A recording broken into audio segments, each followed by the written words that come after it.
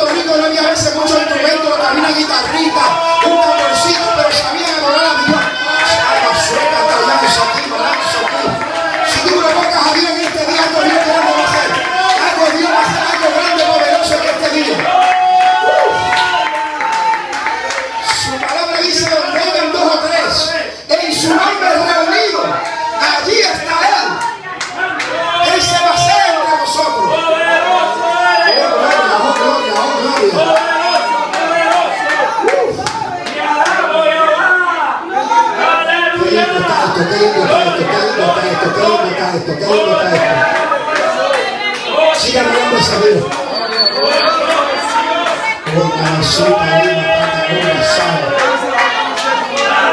Mi hermana se llama el Espíritu Santo.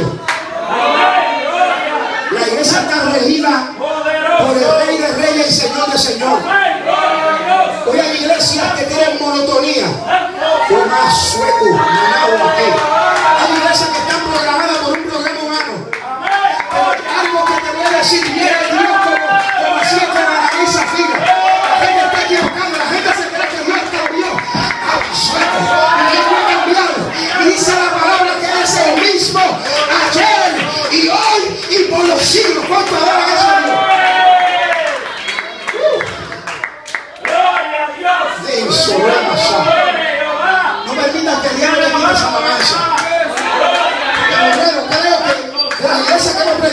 a Dios. Esta es la más que adora a Dios. Alaba la gloria de Dios.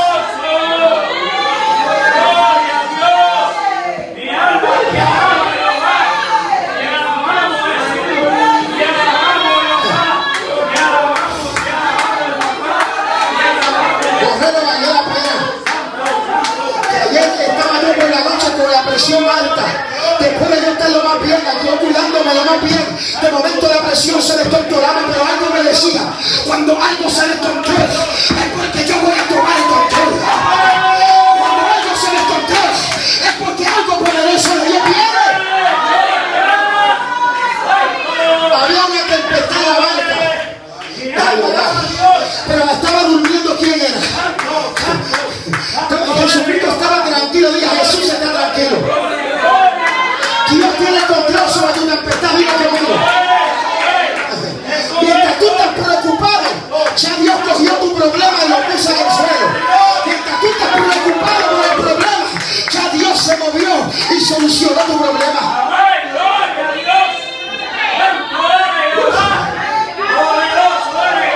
Ay, ay, ay.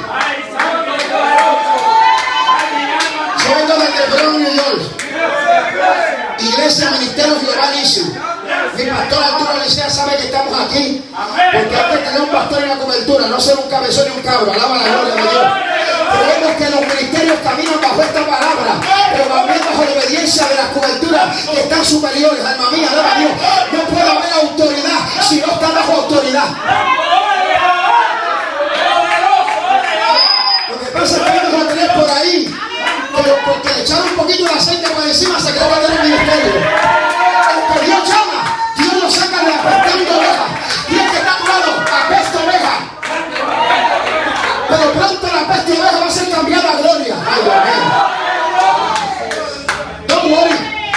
la gente lo está mirando por encima de él, no.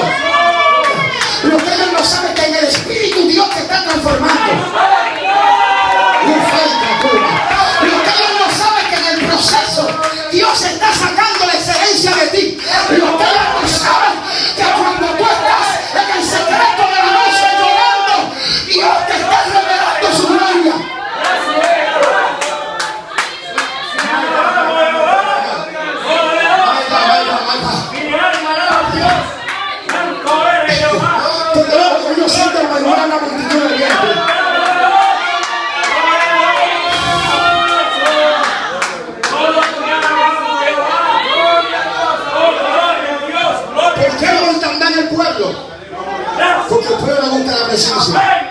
¿Por qué no están mal el pueblo? ¿Por qué no están lo que no tienen? Porque hay un pueblo que está muerto. Porque durante el día no sacan sacrificio. Porque su casa está muerta.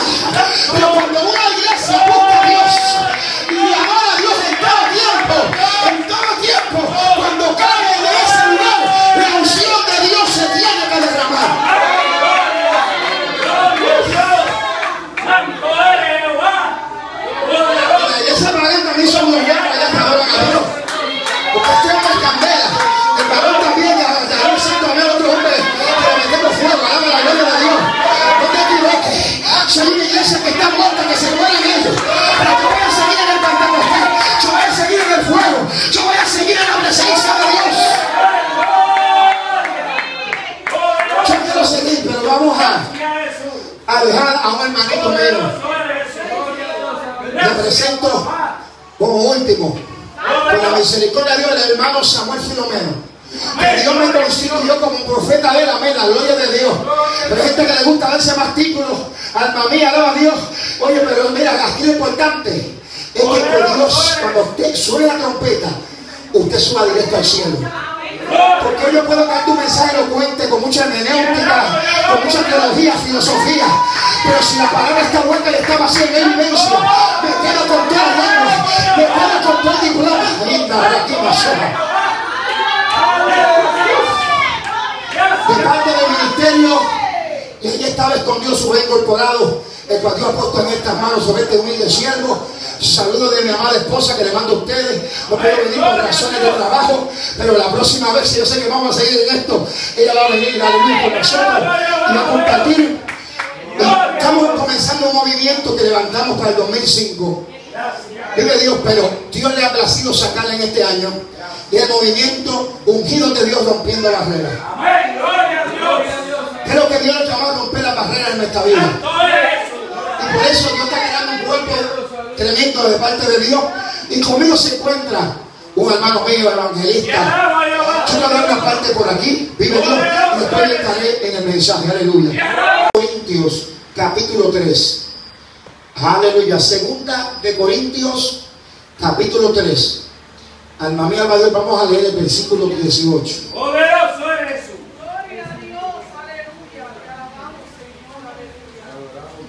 Aleluya. Esto está bueno y se está poniendo mejor todavía. Amén. Gloria a Dios. Qué lindo nuestro Dios. Segunda de Corintios, capítulo 3, versículo 18. Para que todo el mundo lo tenga para estar conectado a la palabra de Dios. Oh, gloria a Dios. ¿Lo tenemos, hermano? Lee la poderosa palabra en el nombre del Padre, Hijo y del Espíritu Santo. Amén. Por tanto, noso- por tanto, nosotros todos, mirando cara descubierta como un espejo la gloria del Señor, somos transformados de gloria en gloria en la misma imagen como el Espíritu del Señor. Inclina tu rostro. Padre Celestial, en esta hora vamos a predicar tu palabra, la cual ya está fluyendo. Surúcuma, reba causa. Te pido que sigas ministrando de manera especial, porque tú eres maravilloso. Y habla por medio de tu rema y ministra a cada uno de los que están en este día. Yo creo que tú le des la mano al que está a tu lado y dile de lo profético a lo apostólico. Puede sentarse, amado hermano. Dice la Biblia que en el principio Dios creó los cielos y la tierra.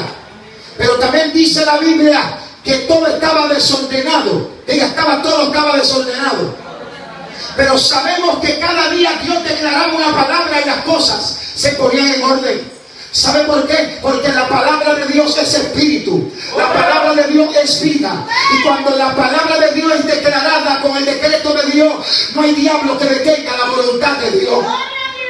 Yo debo decirte en este día que cuando Dios declaró una palabra desde el principio, la palabra dice que aunque la promesa tardare, tú la esperas porque llegará a tus manos.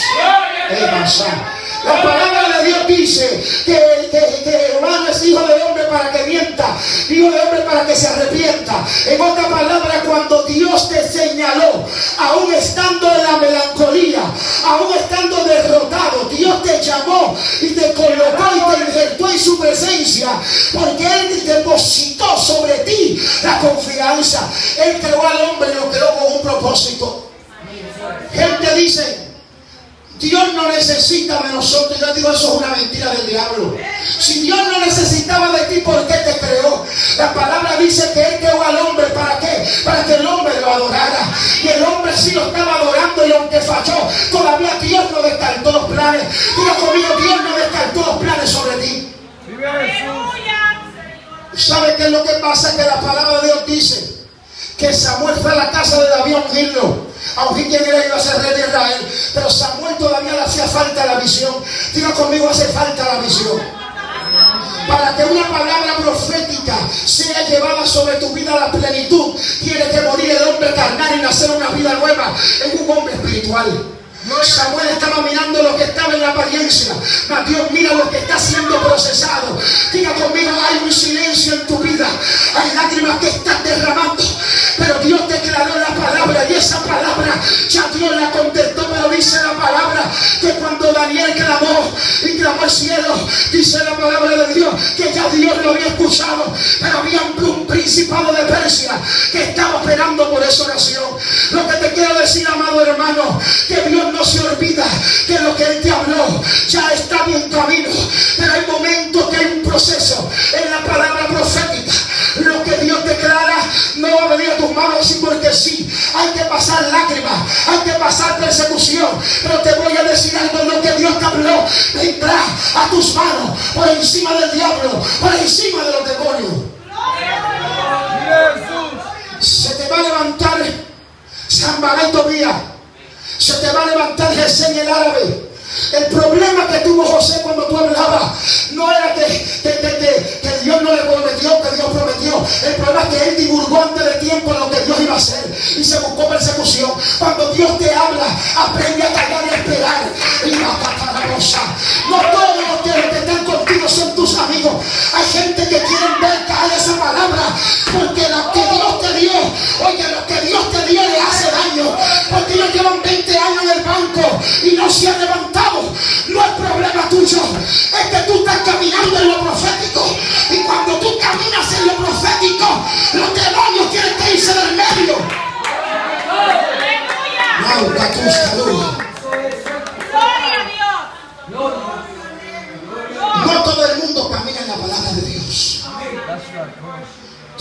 Diseñó un plan sobre tu vida. ¿Sabe algo sobre Jeremías? Lo diseñó. Él dijo, desde vientre, antes de tu madre, yo te conocí. Antes de que tú nacieses, te vi por profeta en las naciones. Quiere decir que antes que fuiste creado, ya Dios sabía que ibas a derramar lágrimas, sabía que ibas a derramar llanto, pero también en la historia tuya había, va a haber una historia de alegría,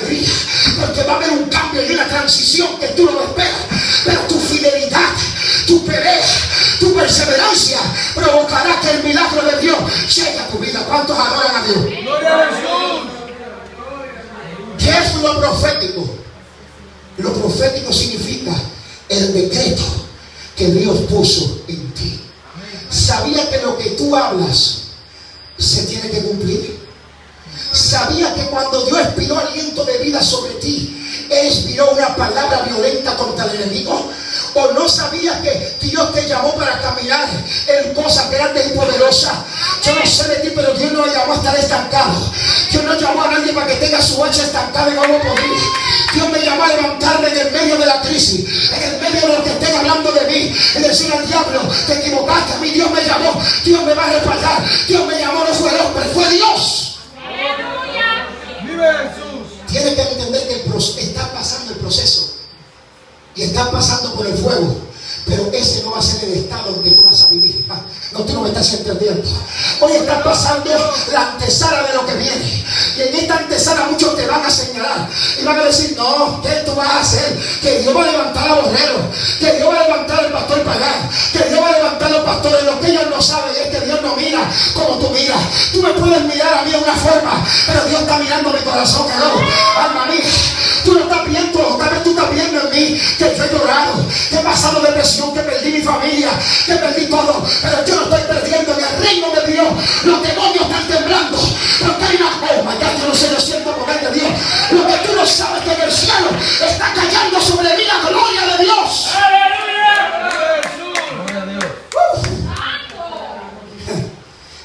Eliseo y Elías con Dios, dice la palabra de Dios. Y cuando Elías dijo, desciende fuego del cielo, dice que lamió el agua. Porque esto es lo que hacen los profetas. Los profetas de Dios este, pelean contra diablo y dicen, mira, aquel que de Jehová. El profeta de Dios no tiene miedo. Hoy vemos gente que dicen ser profeta, pero lo que son son poetas. Ahora no lo mismo un profeta que un poeta. El poeta te habla lindo y te duele con el video verdad. Te duele o no te gusta. Habla la gloria de Dios. ¿Por qué la iglesia está decaída? Porque los primeros que están en pecado son los pastores, los líderes. Están en adulterio, están en fornicación. Pero mira, ¿sabes algo todavía? Hay profetas de Dios que no se llenan de chisme, que no quieren estar oyendo en Facebook. Hay hombres de Dios que asalta, busca, que Dios que se meten en la presencia de Dios y Dios les revela.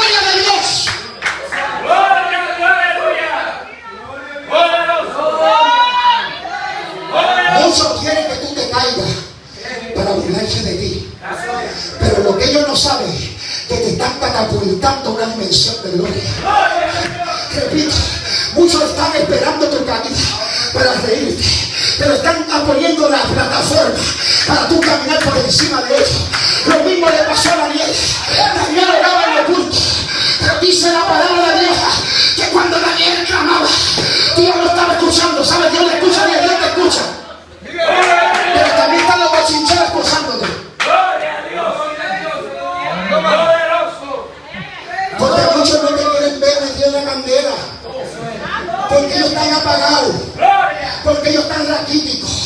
Pues te vas a quedar esperando la guaguita. Y tú dices, maicísala. Ese es mi tiempo.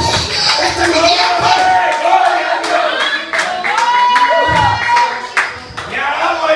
Y lo choquearon.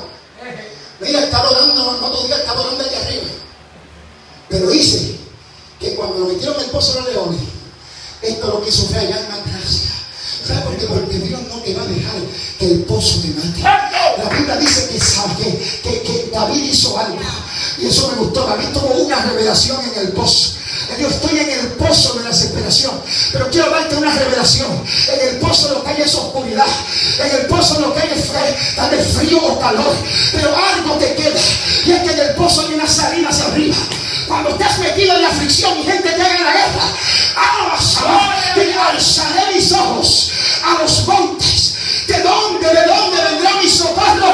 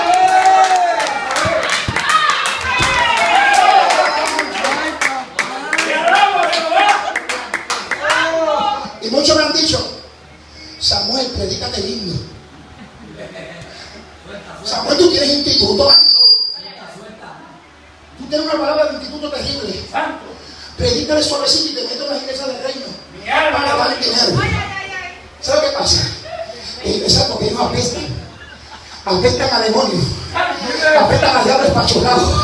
Porque ya no tienen presencia. Y lo que hacen es vendiendo el mensaje. Para ellos ganarse dinero. Pero tu dinero. Yo bueno con la boca con la puerta. Dios me llamó a predicar santidad. Santidad voy a predicar y voy a vivir en santidad.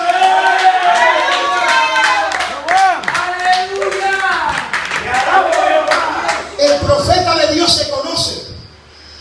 No, so- no solo por las señales, sino cuando las señales son respaldadas por la evidencia de la. Repito, y te lo voy a poner como un ejemplo. Habían magos que estaban en Egipto, pero estaba la vara de Moisés. Los dos hacían serpientitas y hacían milagritos. Pero ¿cuál fue la diferencia? Que lo que de Dios se come al diablo. Dice que lo que estaba en la boca de Moisés se los comió. ¿Sabe por qué? Porque hay gente que se aprenden dos racatacas y ya se cree que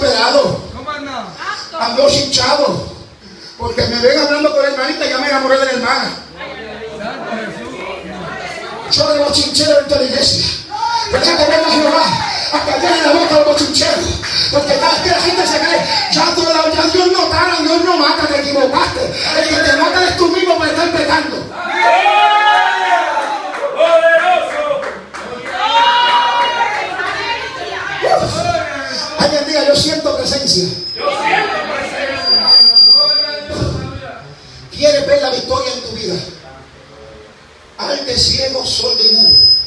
Y camina en lo que Dios te dijo. Los críticos no te deben matar tu sueño. Los críticos deben llevarte a otro nivel. Apréndete eso. Porque yo estoy de pie obrero. Un momento estuve detenido por un año porque estaba, no aprendía a salir del proceso. Creía que con mi habilidad yo podía derrotar al enemigo. Y me dice la palabra que nuestras almas no son carnales, sino son poderosas en Dios para la destrucción de fortaleza. Tu habilidad, tu habilidad Dios la utiliza, pero bajo el poder de la presencia de Dios. ¡Gloria a Dios! David derrotó a Goliat. Y aunque él había aprendido a guerrear, algo me gustó.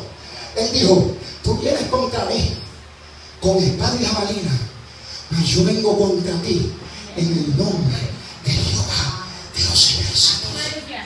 Usa la palabra profética que Dios puso en tu boca. Si tu hogar está derrotado es porque tú quieres. Porque yo creo en un Dios que cuando tú clamas, Jehová lo oye el justo clamará y Jehová le escuchará. Yo creo que si la iglesia de Dios se dice a meter en verdad a buscar de Dios, pero tú vas a ver todas las iglesias que se van a llenar. Ahora vengo con algo que Dios me dijo que trajera. Marué, Uruku, Siata, Namu. Yo he hablado con ustedes, pastores. Dice el Señor, las lenguas se han metido con esta iglesia para destruir esta obra. Dice el Señor, pero los he llamado a dar el mensaje tal como está. Reba Catorena. Yo tuve que sacar esa serpiente que estaba aquí en esta iglesia. La saqué porque te estaba difamando. Abá, Shabá. Y estaba sacando alma de este lugar.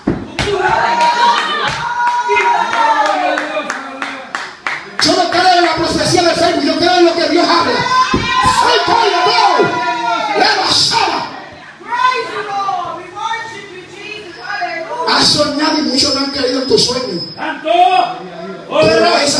le cae la mano de Dios pronto.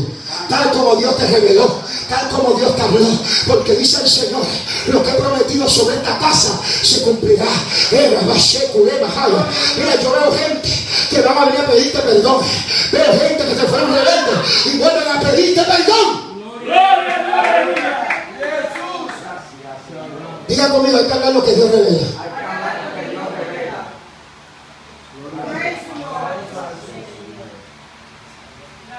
Seguimos la misma. Siento una noción terrible. Dios te dio la palabra para que tú no te sentamos en banco. Dios te dio la palabra para que camines con esa palabra y para que Dios logre lo que Él quiere en ti. Tú tienes que caminar por esa palabra. Si tú te rindes, nunca vas a llegar. La palabra de Dios dice en los Hechos capítulo 1. Óyeme, y, yo, y recibiréis poder. Cuando haya venido sobre nosotros, ¿quién? Fue una promesa. Pero en los Hechos capítulo 2, la promesa se convirtió en algo más poderoso. Ya no solamente había una promesa, lo apostólico se estaba manifestando. ¿Tú sabes cuál es la acción apostólica? Los dones del Espíritu. El diablo no quiere que la unción de los dones se mueva en la iglesia. Porque sabe que cuando hay profeta, cuando hay visión, los pecados salen a la luz. No, a la de la pornografía sale a la luz. Es que el diablo está atacando la unción profética y apostólica. El avivamiento de Dios viene pronto. Viene gloria de Dios como nunca antes. Vienen los dones de Dios como nunca antes.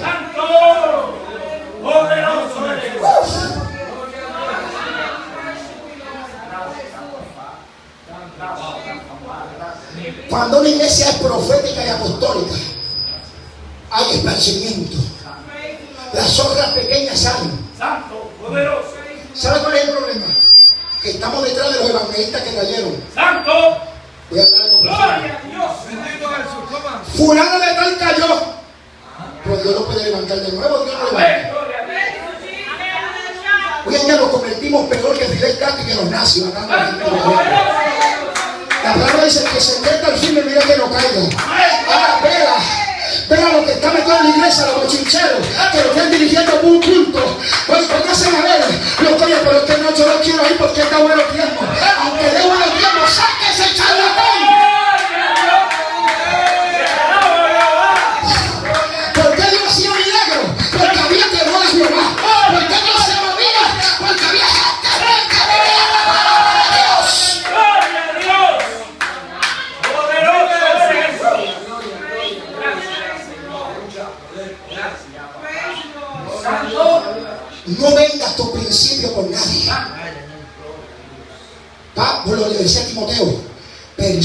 En lo que aprendiste. Amén. Gloria a Dios.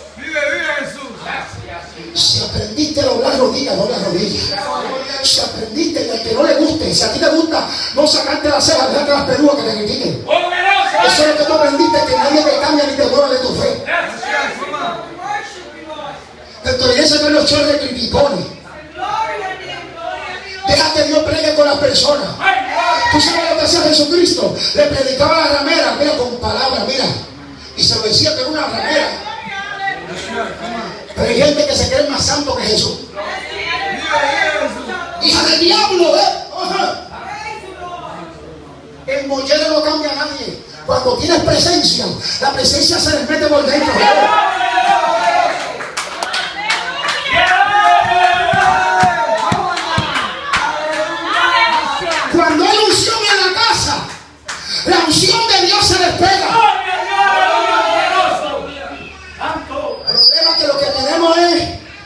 Chores pastores y ministros que trabajan en la construcción de 6 a 6, matándose bajo el sol.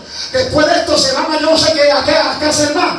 Y después quieren decir, ay, qué iglesia, ¿qué, qué palabra va a predicar si tú estás esquelético y vacío? Para predicar una palabra hay que tener fuego, hay que tener unción y búsqueda con Dios.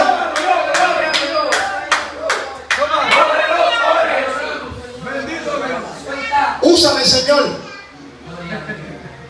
Si eso dice ahí, úsame. Yo te voy decir algo, mí Dios me enseñó algo. El seguir a los hombres no te va a traer unción. Pero el seguir al Dios de los hombres te va a traer la gloria. Repito de nuevo. Eliseo no seguía Elías. Él seguía lo que estaba sobre Elías. ¿Por qué hombres están cayendo? Porque miran al evangelista internacional y cuando cae se va con el evangelista internacional. Por eso es que hay pecado dentro de la casa de Dios. Pero cuando aprendamos que hay que mirar a Dios por encima de todo, Dios va a derramar su gloria de una manera sobrenatural.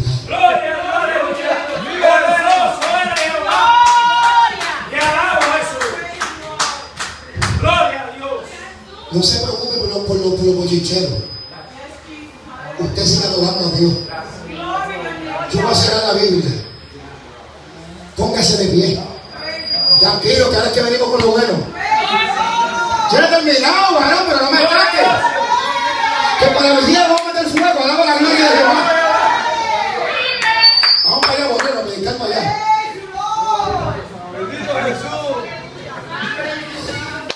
Aprenda algo.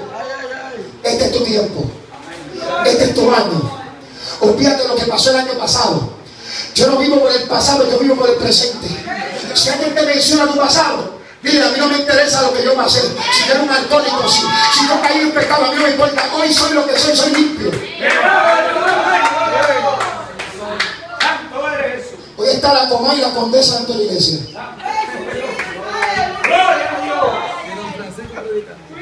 Oye, hermano, porque son expertos, dicen algo, el otro todo el mundo lo sabe. Esas son las otras pequeñas que yo hablo. ¿Tú sabes lo que dice amada? Los adultos de los fornicarios los juzgará Dios. Te voy a llevar qué es lo que quiere decir esta palabra. Porque todo el mundo critica a un varón porque se divorció. Todo el mundo critica un divorcio. Pero no sabe que ese hombre le dice echar la mano le daba a la esposa por las caporturas de cabeza. ¿Qué tú quieres? ¿Que se quede corriendo golpe? Por eso esta palabra está ahí. Porque para la gente ellos son adultos y fornicarios. Pero Dios te conoce los corazones. Cuando tú haces un pacto, es un pacto exterior, tú puedes violar ese pacto también. Muchos no conmigo. Porque lo que la gente lee la palabra por encimita. No sabía que Pablo tuvo que poner reglas porque había un desenfreno. Hablaba la gloria de Jehová. Y la palabra hay que entender, hay que buscar la historia, los trasfondos bíblicos. No leer la palabra como un diccionario o como un paquín de, de revista. La palabra se lee en el espíritu de revelación. Gloria a Dios. Santo. Gloria a Dios. Gloria a Dios. Aleluya. Permanece en esta. Permanece en esta palabra. El ataque infernal que ha venido contra esta iglesia ha sido grande. My God.